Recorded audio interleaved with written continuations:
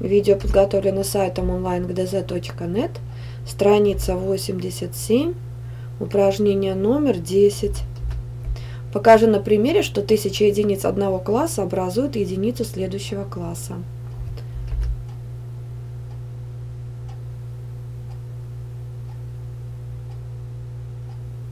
Если мы сложим число 1 тысяча раз, то есть тысяча раз возьмем по одному, то у нас получится одна тысяча. Итак, тысяча единиц класса единиц образуют одну единицу класса тысяч. Если вам понравилось видео, смотрите остальные решения на нашем сайте. Если есть вопросы, предложения или пожелания, подписывайтесь на наши группы в социальных сетях.